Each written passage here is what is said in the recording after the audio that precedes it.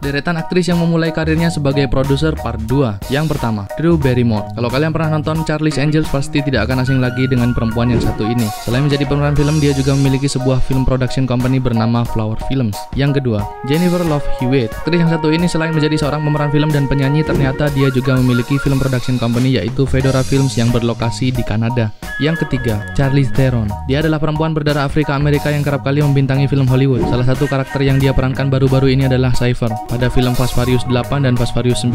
Dia juga memiliki sebuah film production company yaitu Denver and Delilah Production. Yang keempat, Alicia Vikander. Perempuan yang satu ini adalah aktris yang berasal dari Swedia. Dia adalah pemeran karakter Lara pada film Tomb Raider tahun 2018.